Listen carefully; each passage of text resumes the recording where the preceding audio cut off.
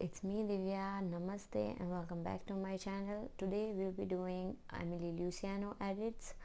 Uh, one thing I wanted to share with you guys is that uh, making someone's preset style that doesn't mean that we are copying the exact same thing.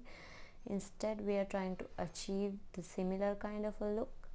So yeah, uh, I do have my own presets just give it a try. The link is in the description box below. Do follow me on my instagram uh, subscribe to my youtube channel if you haven't already uh, like comment if you have any queries. And uh, yeah for today let's get started with the video